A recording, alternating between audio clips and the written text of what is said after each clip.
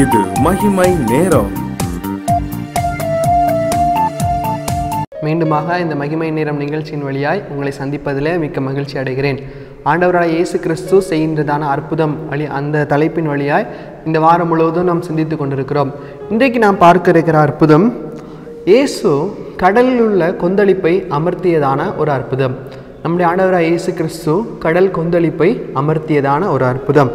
இந்த சம்பவம் மத்திய எழுதின சுவிசேஷம் எட்டாவது அதிகாரம் இருபத்தி மூன்றாவது வசனம் முதல் இருபத்தி ஏழாவது வசனம் வரையிலும் மார்க் எழுதின சுவிசேஷம் நான்காவது அதிகாரம் முப்பத்தி ஆறாவது வசனம் முதல் நாற்பத்தி ஓராவது வசனம் வரையிலும் இடம்பெற்றிருக்கிறது வேதாகமத்தில். இதை நீங்கள் வாசிக்கும்படியாக உங்களை அன்போடு கூட கேட்டுக்கொள்கிறேன். இந்த சம்பவம் நம்ம எல்லாருக்கும் தெரிந்ததான ஒரு சம்பவம். ஆண்டவரும் அவருடைய சீஷர்களும் ஒரு படகில ஏறி பிரயாணம் செய்கிறவர்களாய் கூட காணப்படுகிறார்கள். அவர்கள் பிரயாணம் பண்ணி கொண்டே இருக்கிறார்கள். இருபத்தி நாலாவது வசனத்தில் சொல்லப்பட்டிருக்கிறது ஆண்டவரோ நித்திரை மயக்கமாக இருந்தார். ஆண்டவர் ஒரு இடத்துல போய் நித்திரையாய் இருந்தார். அவர் மனுஷ தன்மையிலே காணப்படுகிறார். எனவே அவருக்கும் களைப்பு வந்திருக்கும். அவர் நித்திரையாக இருந்தார். இவருடைய சீஷர்கள் பிரயாணம் பண்ணிக்கொண்டே இருக்கிறார்கள் பண்ணிக்கொண்டே இருக்கிறார்கள். அப்போது திடீரென்று பெருங்காற்று வீசுகிறது போன்றுதான் ஒரு சத்தம் வருகிறது. புயல் வருகிறது. படகு அப்படியே தத்தளிக்கிறது. படகு அப்படியே தத்தளித்து போகிறது சீஷர்களுக்கு என்ன செய்வதென்று தெரியவில்லை. அப்போது அந்த சீஷர்கள் ஆண்டவரை தேடுகிறார்கள். அவரோ நித்திரை மயக்கமாக இருக்கிறார்.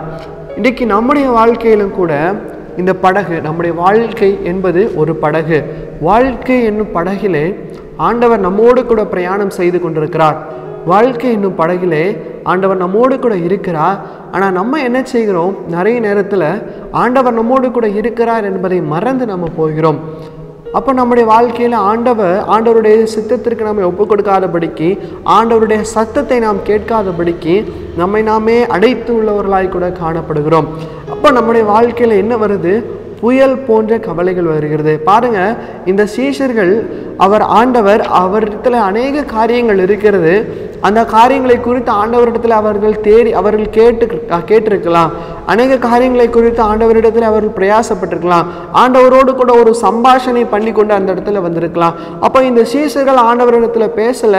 ஆண்டவருக்கு அந்த இடத்துல வேலை இல்லை. எனவே ஆண்டவர் போய் அந்த இடத்துல நித்திரை மயக்கமாயிட்டார். இன்னைக்கு நம்முடைய வாழ்க்கையிலும் நம்முடைய வாழ்க்கை படகுலையும் கூட ஆண்டவர் நம்மோடு கூட வருகிறார். ஆனால் இன்னைக்கு ஆண்டவரோடு கூட நம்ம உறவாடுகிறோமா அப்படிங்கிறத சிந்திச்சு பாருங்க. ஆண்டவரோடு கூட நம்ம உறவாடாம ஆண்டவரிடத்துல நம்ம பேசாம நம்ம இருப்போம் என்று சொன்னா ஆண்டவருடைய சத்தத்திற்கு நம்ம செவி கொடுப்பாம இருப்போம் என்று சொன்னா நம்முடைய வாழ்க்கையிலும் ஆண்டவர் என்ன செஞ்சு விடுவார் ஒரு ஓரத்துல தூங்கி இன்னைக்கு அப்படிப்பட்ட ஒரு வாழ்க்கை நம்மிடத்தில் இருக்கிறதா என்பதை சிந்தித்து பாருங்கள். அப்போ நம்முடைய வாழ்க்கையில் என்ன வருகிறது? சோதனை துன்பங்கள் வருகிறது கவலைகள் வருகிறது கஷ்டங்கள் வருகிறது. இவை எல்லாம் வருகிறது. ஆண்டவர் ஒரு இடத்துல படகுல தூங்கிட்டு இருக்கிறா கடல் போல கொந்தளிப்பு கடல் கொந்தளிப்பாக இருக்கிறது புயல் போல கஷ்டங்கள் வருகிறது. இன்னைக்கு நம்முடைய வாழ்க்கை படகிலும் கூட இந்த புயல் போல கஷ்டங்கள் வருகிறது. நம்மளும் தத்தளிக்கிறோம். என்ன செய்கிறது என்று தெரியுதா? தெரியாமல் நம்ம தத்தளிக்கிறோம். ஏன் இந்த தத்தளிப்பு நமக்கு இருக்கிறது என்று சொன்னால் இந்த காரியங்களை நம்ம ஒரு சோதனையாய் பார்க்கவில்லை. நம்முடைய வாழ்க்கையில வருகிறதான எல்லா கவலைகளையும் எல்லா துன்பங்களையும் நீங்கள் ஒரு சோதனைகளை அதை நோக்கி பாருங்கள்.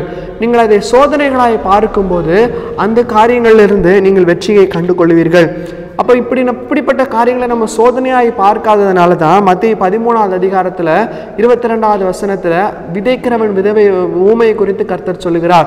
அந்த இடத்துல பார்க்குறோம் முள்ளுள்ள இடங்களில் இருக்கிறவங்க என்ன செய்கிறாங்களாம் வெயில் ஏறின உடனே எல்லா கலைகளாக இறங்கி அவங்க நெருக்கின உடனே அவங்க பின்வாங்கி போய்கிறாங்க. இன்னைக்கு நம்முடைய வாழ்க்கையிலையும் இப்படிப்பட்ட துன்பம் இருக்கா? கவலை வருதா? சோதனை வருதா? புயல் போல கஷ்டம் வருதா?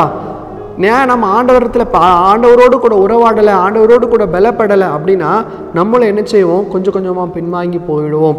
ஆனால் ஒருபோதும் கவலைப்படாதீங்க. இருபத்தி ஆறாவது வசனத்தில் ஆண்டவர் எழும்பி சொல்கிறார் அற்ப விசுவாசிகளே என்று சொல்கிறார் ஏன் அற்ப விசுவாசிகளேன்னு சொல்கிறார் இது அவங்களுடைய விசுவாசத்திற்கு வைத்ததான ஒரு சோதனை.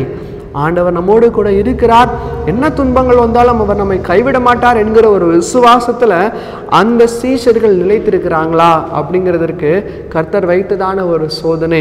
இன்னைக்கு ஒருவேளை நம்முடைய வாழ்க்கையிலும் கூட கர்த்தரோடு கூட நம்ம உறவாடாமல் இருக்கலாம். அப்போது கர்த்தரோடு உறவாடாம இருந்தோம்னா எல்லா கவலைகளும் நம்மை நெருக்கிவிடும். ஆனால் நம்ம கர்த்தரோடு கூட உறவாடி கொண்டு இருந்தோம் என்று சொன்னால் எல்லா சோதனைகளையும் ஜெயிக்கிறதுக்கு கர்த்தர் நமக்கு வல்லமையுள்ளவராய் கூட காணப்படுகிறார். உங்கள் வாழ்க்கையில் என்ன கஷ்டம் வந்தாலும் சரி கர்த்தருக்கான ஒரு ஃபோன் நம்பர் இருக்குது. எரேமியா முப்பத்தி மூணு அதிகாரம் மூணாவது வசனம் அழகாக சொல்லுகிறது. என்னை நோக்கி கூப்பிடுது நீ அறியாததும் உனக்கு எட்டாததுமான பெரிய காரியங்களை உனக்கு அறிவிப்பேன். இன்னொரு வசனம் சொல்லுது ஆபத்து காலத்தில் நீ என்னை நோக்கி கூப்பிடு. ஒருவேளை உங்களுக்கு கஷ்டம் வருதா? உங்களுக்கு துன்பம் வருதா? கவலை வருதா? அந்த ஆபத்தில் அந்த நேரத்தில் நீங்கள் ஆண்டவர் மறந்து போயிடாதபடிக்கு ஆண்டவர் உங்கள் கூட இருக்கிறத மறந்து போயிடாதபடிக்கு நீங்கள் ஆண்டவர் நோக்கி பார்த்து கூப்பிடுங்க. கர்த்தர் உங்களுக்கு செவி கொடுக்கிறவராய் கூட காணப்படுகிறார். கர்த்தர் உங்களுடைய வார்த்தைக்கு செவி கொடுக்கிறார். ஏன் நான் பயப்படுறீங்க? புயல் போல கஷ்டம் வருதா? துன்பம் வருதா? பயப்படாதீங்க. ஏசாயா நாற்பத்தி மூணு அதிகாரம் பத்தாவது வசனம் சொல்லுது பயப்படாதே நான் உன்னோடு கூட இருக்கிறேன். இன்னைக்கு ஆண்டவர் உங்களோடு கூட இருக்கிறார்.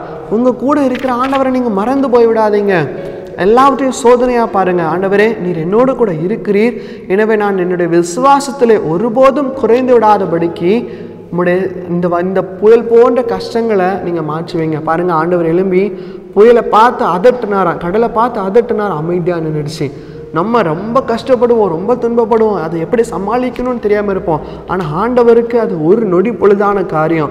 ஒரு வார்த்தை ஆண்டவர் சொன்னோன்னே எல்லாம் முடிந்ததாக நம்ம பார்க்குறோம். கொந்தளிப்பு அமர்ந்தது பிரயாணம் ஸ்மூத்தாக போயிடுச்சு. இன்னைக்கு நம்ம வாழ்க்கையிலும் எல்லாம் இருக்குது எல்லாம் நடக்குது. துன்பம் வருதா? கவலைப்படாதீங்க. ஆண்டவர்கிட்ட சொல்லுங்கள் ஆண்டவரோடு கூட உறவாடுங்க. ஏசப்பாட்ட சொல்லுங்கள் ஏசப்பா உங்கள் வாழ்க்கையில் வர்றப்ப உங்களுடைய வாழ்க்கையில் அற்புதம் நடக்கும். ஒரு சின்ன சம்பவத்தை உங்களிடத்துல சொல்லலாம் என்று சொல்லி நான் ஆசைப்படுகிறேன்.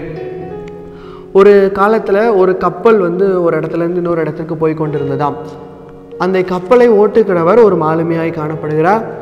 அப்போ ஒரு சமயத்தில் என்னாச்சு அப்படின்னா அந்த கப்பல் போய்க்கொண்டே இருக்கிறது. ஒரு இடத்துல போய் அந்த கப்பல் வந்து மூழ்கிடுச்சு. ச ஒரு இடத்துல ஒரு கப்பல் மோதிடுச்சு அதிலிருந்து தண்ணீர் வந்து கப்பலுக்குள்ளாக வந்து கொண்டிருந்தது.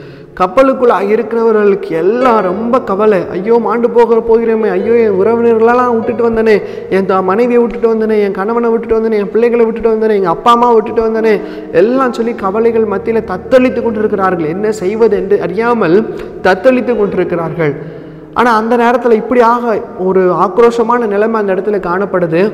அந்த இடத்துல பார்த்தீங்கன்னா ஒரு சிறுவன் இருக்கிறானா அந்த சிறுவன் ரொம்ப அசால்ட்டாக உட்காந்துருந்தான் ஐயோ நான் சாக போகிறேன். ஐயோ நான் மடிந்து போகிறேன்ங்கிறதான ஒரு ஒரு கவலை அந்த சிறுவனிடத்துல காணப்படவே இல்லை. அவன் ரொம்ப அசால்ட்டாக உட்காந்துருந்தான் அப்போ அந்த சிறுவனை பார்த்து கேட்குறாங்க எல்லாரும் நீ ஏன் இவ்வளோ சா அது இது உனக்கு கவலையே இல்லையா? ஏன் இவ்வளோ அசால்ட்டாக உட்காந்துருக்கிற ஏன் இவ்வளோ சந்தோஷமாக நீ உட்காந்துருக்கிற என்று சொல்லி கேட்குறப்போ அந்த சிறுவன் சொன்னானா எனக்கு தெரியும் எதுவுமே நடக்காது. ஏன்னா இந்த கப்பலை ஓட்டுகிறவர் யாருன்னா என்னுடைய அப்பா. இந்த கப்பலுடைய மாலுமி எங்கள் அப்பா எப்படியாவது எங்கள் அப்பா என்னை காப்பாற்ற வருவார் அப்படிங்கிற ஒரு நம்பிக்கை எனக்கு இருக்குது அதனால நான் எதுவும் செய்ய எதுவுமே நான் கவலைப்படலை அப்படின்னு சொன்னானா. இன்னைக்கு உங்களுடைய வாழ்க்கை படகையும் உங்களுடைய வாழ்க்கை படகின் மாலுமியாகவும் கூட ஆண்டவராக இயேசு கிறிஸ்து காணப்படுகிறார். அவரை நீங்கள் மறந்து போய்விடாதீங்க. அவர் மேலே நம்பிக்கை வைங்க. உங்களுடைய விசுவாசம் இன்னைக்கு யாரிடத்துல காணப்படுகிறது?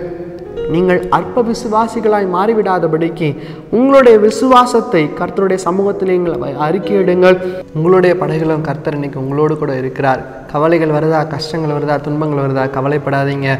புயல் போன்ற காரியங்கள் வந்தாலும் கவலைப்படாதீங்க. கர்த்தரிடத்தில் விசுவாசமாயிருங்கள். கர்த்தர் அந்த காரியங்கள் எல்லாவற்றையும் வாய்க்க செய்வார்.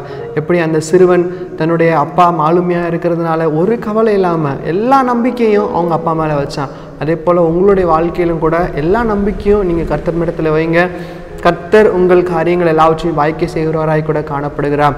எல்லா துன்பங்கள் கவலைகள் எல்லாவற்றையும் மாற்றி விடுகிறதுக்கு கர்த்தர் சித்தமுள்ளவராய் கூட காணப்படுகிறார். அவர் ஒரு வார்த்தை சொன்னால் போதும் அந்த வார்த்தைகள் கா அந்த வார்த்தைகள் மூலமாக நம்முடைய காரியங்கள் எல்லாவற்றையும் மாற்றுவதற்கு கர்த்தர் சித்தமுள்ளவராக இருக்கிறார். எனவே இந்த நேரத்தில் பிரியமானவர்களே எல்லா கவலைகளையும் கர்த்தர் மேலே வைத்து விடுங்கள். உங்களுடைய பாரங்கள் எல்லாவற்றையும் அவர் மேலே வைத்து விடுங்கள். உங்கள் வாழ்க்கை படைகளை கர்த்தர் உங்களுக்கு என்ன சொல்லிக் கொடுக்கிறாரோ அதை நீங்கள் கற்றுக்கொள்ளுங்கள். அதன்படி நடங்கள். கர்த்தர் உங்கள் வாழ்க்கையை ஆசீர்வதிப்பாராக. கண்களை மூடுவோம். கர்த்தர் நோக்கி பார்த்து ஜபிப்போம். நேற்றும் இன்றும் என்று மாறாதிருக்கிற எங்களுக்கு ரொம்ப நிறைந்த பரலோக பிதாவே. அப்பா இயேசு சுவாமி இந்த நேரத்திலும் கூட நீர் எங்களுக்கு கற்றுக் கொடுத்த இந்த வார்த்தைகளுக்காக உமக்கு நாங்கள் நன்றி செலுத்துகிறோம். ஆவியானவர் தாமே நீர் எங்களோடு கூட இடைப்படுகிறதற்காக உமக்கு நன்றி ஆண்டவரே. எங்களுடைய வாழ்க்கை படகுகளும் உண்மை நாங்கள் ஆண்டவரே அப்பா எங்களுடைய வாழ்க்கை படகுல நீங்கள் இருக்கிறீங்க என்பதை நாங்கள் அறிந்தவர்களாக நாங்கள் நடக்க கிருபை செய்யுங்க.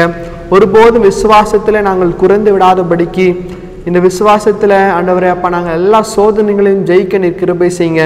எங்களுடைய வாழ்க்கையில் அப்பா புயல் போன்ற காரியங்கள் துன்பங்கள் வந்தாலும் அவை எல்லாவற்றையும் இயேசு கிறிஸ்துவாகிய நீர் எங்கள் படைகளை இருக்கிறப்ப ஒருபோதும் கவலைப்படாதபடிக்கு உம்மிடத்திலே நாங்கள் அறிக்கை செய்கிறவர்களாய் நீர் எங்களை மாற்றுங்கப்பா. உம்முடைய பாதத்தில் எங்களை அர்ப்பணிக்கிறோம். எங்கள் கவலைகள் எல்லாவற்றையும் ஆண்டவரே இயேசப்பா உம்முடைய சுத்தில் நாங்கள் சொல்லுகிறோம். யார் யார் இன்னைக்கு ஆண்டவரே கவலையின் மத்தியிலே கஷ்டத்தின் மத்தியிலே இருக்கிறாங்களோ அவங்களுடைய கவலைகள் கஷ்டங்கள் துன்பங்கள் எல்லாவற்றையும் நீர் எடுத்து போடுங்க. ஆண்டவர் அவர்களோடு கூட நீர் பேசுங்கப்பா. அவர்களோடு இடையப்படுங்க அவர்களுக்கு என்ன என்ன காரியத்தை குறித்து கலங்கி கொண்டிருக்கிறார்களோ அதில் நீங்கள் யுத்தம் பண்ணுங்கப்பா. உம்முடைய கருத்தில் தருகிறோம் பொறுப்பெடுங்க வழி நடத்துங்க மீட்பராமேசன் மூலம் ஜபிக்கிறோம். எங்கள் ஜபங்களை நல்ல பிதாவே. ஆமேன் ஆமேன்.